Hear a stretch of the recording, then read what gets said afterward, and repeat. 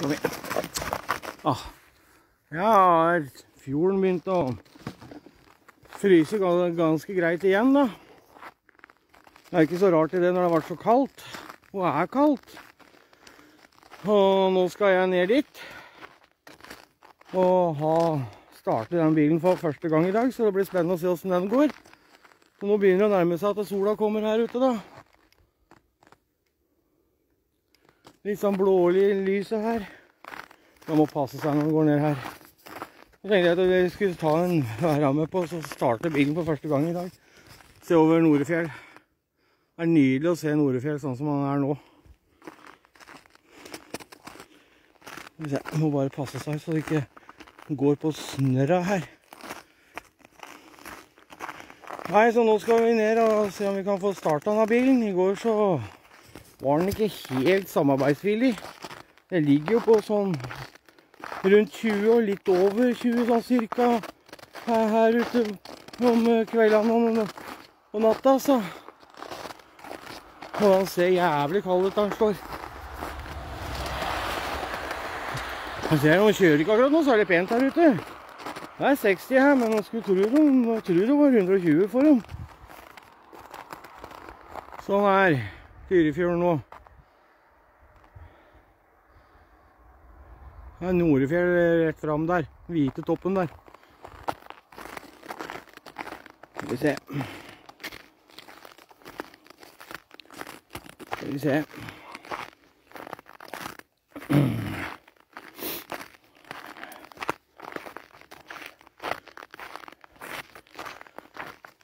Det er så deilig når det blitt tørre veier nå veiene er tørre og fine nå, og det er bra.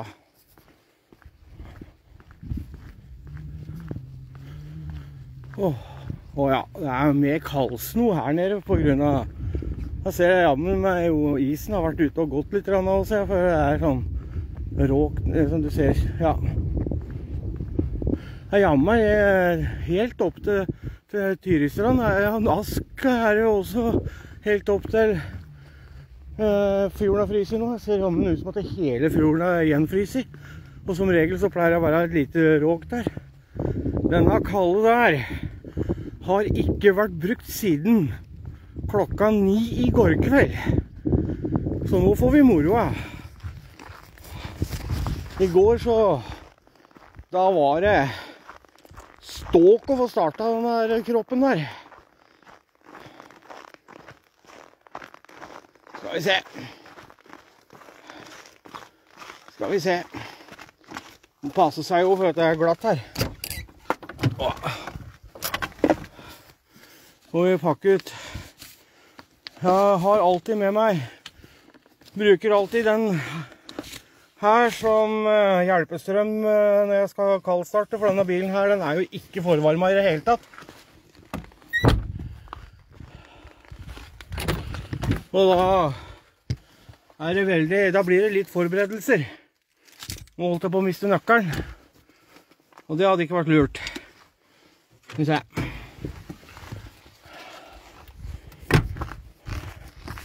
Da blir det en liten kobling her.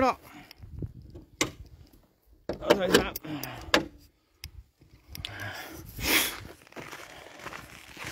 Da får vi se.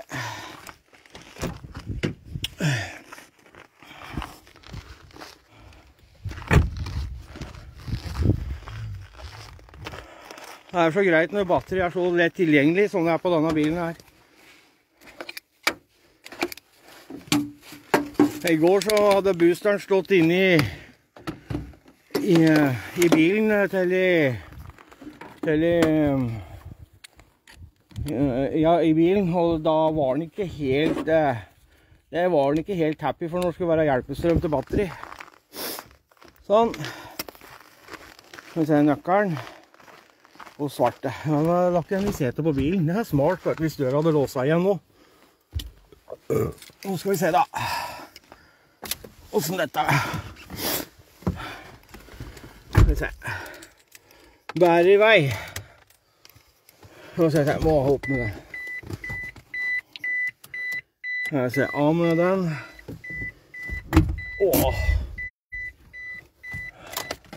Og dro jeg vel kanskje handbrekket litt for hardt på.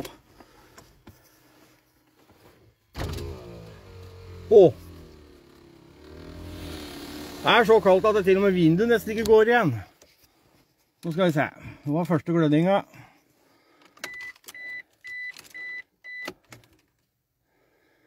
Det var gløding nummer to.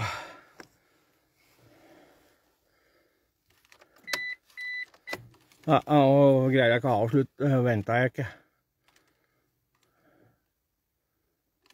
Vi må ha en ting her. Ah!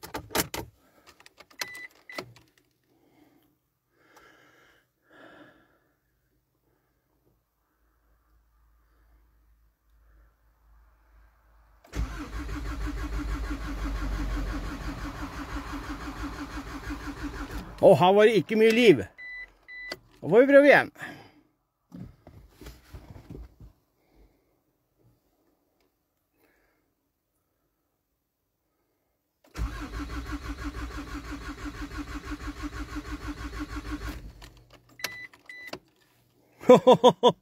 Dette blir spennende å se, folkens.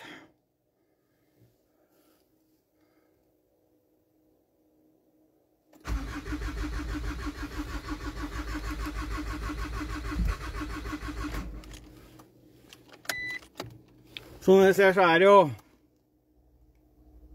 det den viser, i hvert fall. Nå kommer bonden her.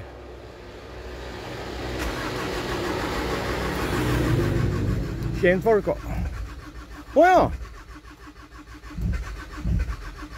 Her begynner det å ryke litt bak her nå, da. Prøv igjen, da.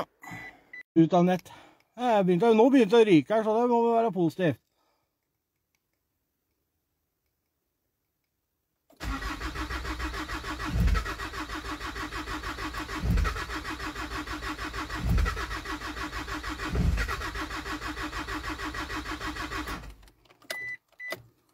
Det er godt man bruker booster nå, som hjelpestrøm.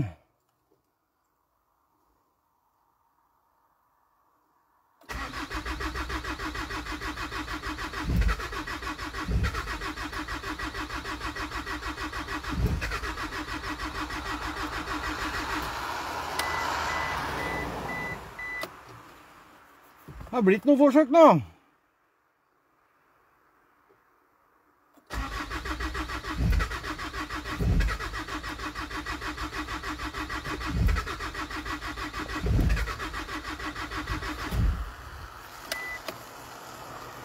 Åh. sånn er det når det er ordentlig god gammeldags kaldstart.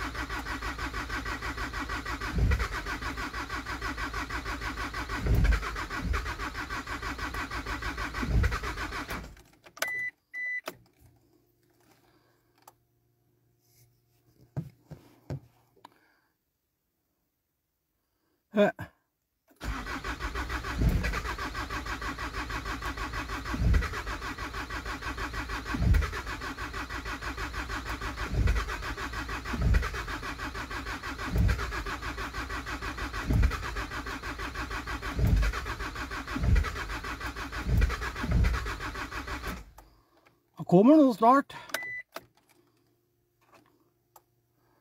Du, Når det er 20 kuldegrader og vær fra det, og mer enn som så kanskje på natta, er det ikke noe rart at dette blir sånn da.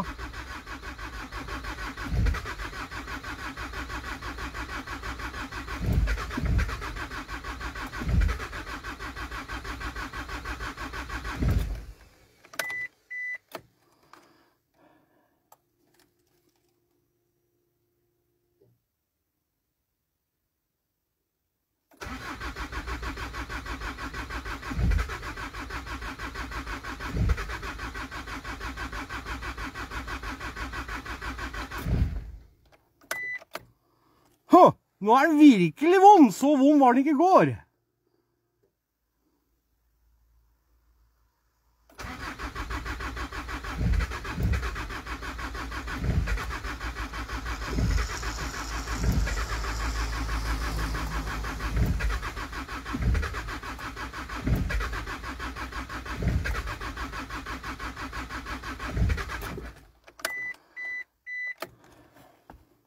Vi skal nok få den i gang.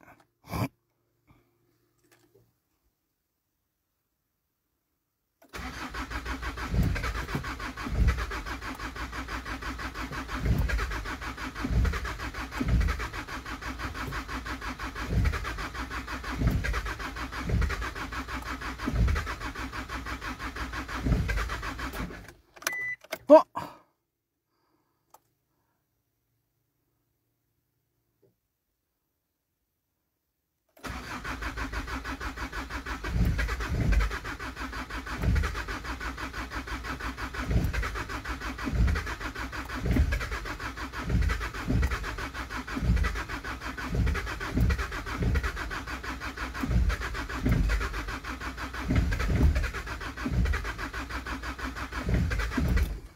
Det begynner å nærme seg nå.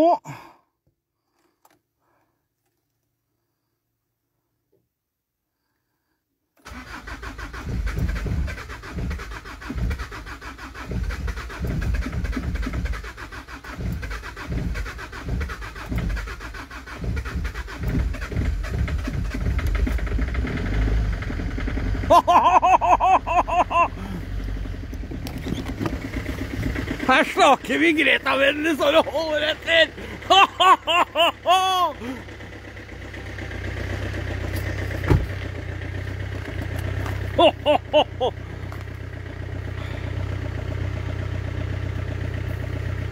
Ja, da starta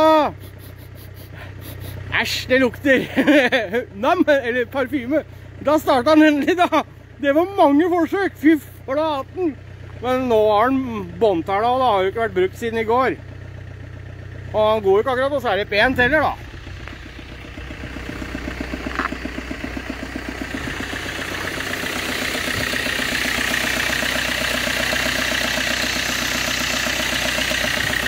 Så er det bare å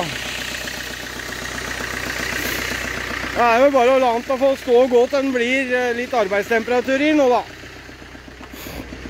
Ja, snøen ble i hvert fall ganske bra svart eh, bak her. Det er ikke verst. Verken eh, forvarmer eller T-kobla til noe forvarming uansett om det har vært motorvarmer eller noe sånt. Det er jo ikke på den. Det er jo rå, brutal, kald start. Så når den da har stått eh, siden i går, sist den var brukt, det var jo sånn i nitida i går, og da var det jo 18 kuldegrader her ute. Og nå har jo Så gikk det jo på veldig utover kvelden, videre utover kvelden og natta. Så det er ikke noe rart i at en dieselbil da blir kranglete, eller vond å starte. Men han går. Hadde jeg ikke hatt eh, er det etter en av den der boosteren, så tror jeg neppe at han hadde Da tror jeg neppe Jeg hadde hatt igjen strøm på batteri, for å si det sånn. Så da sier jeg bare ha det.